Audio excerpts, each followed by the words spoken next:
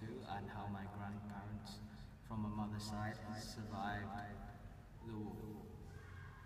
They were only kids when they first when they first experienced war. They didn't they didn't remember much except for the fact that they were running away from the American bombs and had to stay in constant shelter everywhere they went.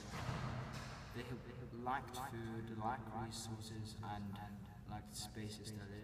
They went to bunkers and they only had one piece of cookie and one piece of cookie that they had to share in half per family and nothing.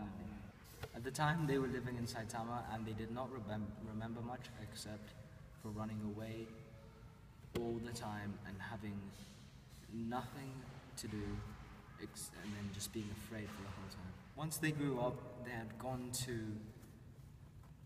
They had still been in Saitama, but they had lived in the same house. And at that house, the war was the war was still going, and the house they had got bombed, and there was a bomb right in the middle of the house, waiting to go off.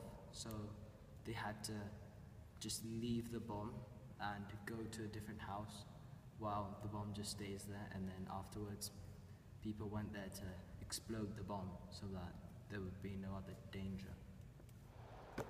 And that's about all there is to my grandparents' story.